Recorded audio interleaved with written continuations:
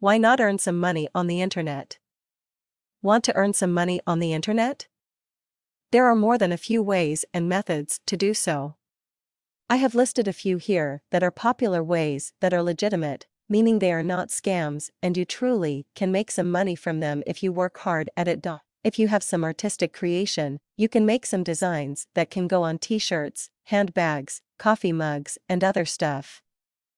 You come up with the design and you can sell these items at cafepress.com.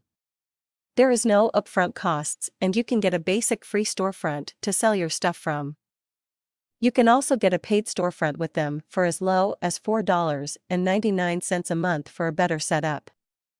They do the transactions and shipping and pay you monthly, keeping a small fee for the service. Of course, you have eBay to sell stuff. You can sell items you have around the house or you find at swap meets. You could find a lot sale of some merchandise for cheap and sell for some profit. Take a look around eBay and see what people are doing, you can learn a lot about how people make money with them. You will have to pay fees for using their site and they seem to change every so often. Try selling stuff from Amazon.com, they are seriously recognized as a legitimate source to shop. Sign up as an affiliate and you can build blogs or websites to sell products from Amazon and get a commission from the sales. The commission is not great, but if you can get to where you sell a large volume, the money adds up.